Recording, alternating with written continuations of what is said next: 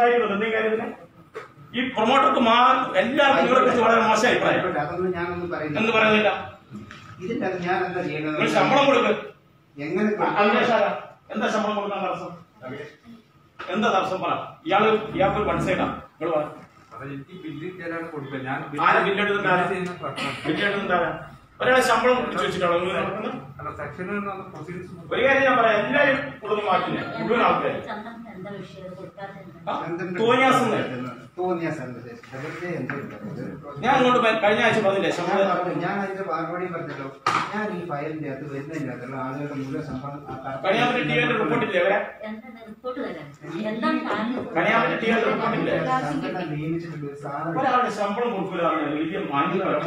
ഫയലിന്റെ ചന്ദ്രനെ നിയമിച്ചിട്ടുള്ള ഒരു സാറ് ഇതില്ല ബാക്കിയുള്ള മുഴുവൻ ആളുകളുടെ നിയമന ഉത്തരവ് ഈ ഫയലിന്റെ അകത്തുണ്ട് മുഴുവൻ ആളുകളും ശമ്പളം കൊടുക്കുന്നുണ്ട് നിയമന ഉത്തരവിൽ അങ്ങനെ ടി വി റിപ്പോർട്ട് ചെയ്യാം.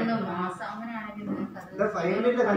നിയമന ഉത്തരവിൽ എങ്ങനെയാ? കണിയാമ്പറ്റ ടി വി അത് പിന്നെ തമ്മിൽ തർക്കാണ് ഇയാൾ ഇവർ ഫയൽ ഒളിപ്പിച്ചു വെച്ചു. എന്നിട്ട് പി ഒ നേരിട്ട് കൊടുത്തു.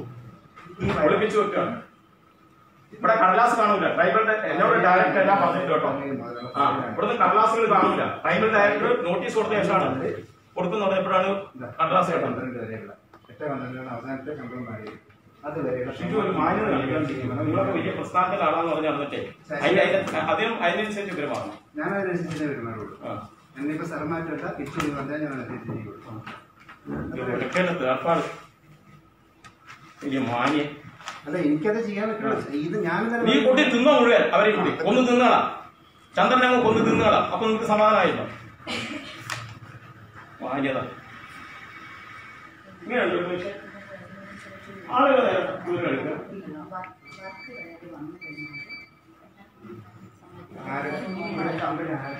വൈകിട്ടുള്ള ചന്ദ്രന്റെ ശമ്പളം നിങ്ങൾ കൊടുക്കുന്നില്ലല്ലോ. മൂന്ന് മാസമായില്ലേ ആരോഗ്യ പിന്നെ ചികിത്സ സഹായം കൊടുക്കില്ല. ഒന്നും കൊടുക്കില്ല അക്കത്തിന് മാത്രമേ വിഷയമുള്ളൂ. ഗോത്രസാരിയുടെ പൈസ കുറച്ച് അങ്ങോട്ട് വിളിക്കാം.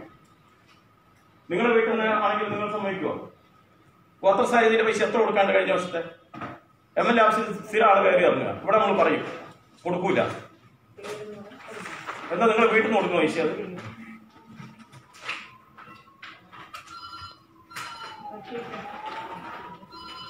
അതിന്റെ തീരുമാനം ഉണ്ടായിട്ട് ഞങ്ങൾ പോകുന്നുള്ളൂ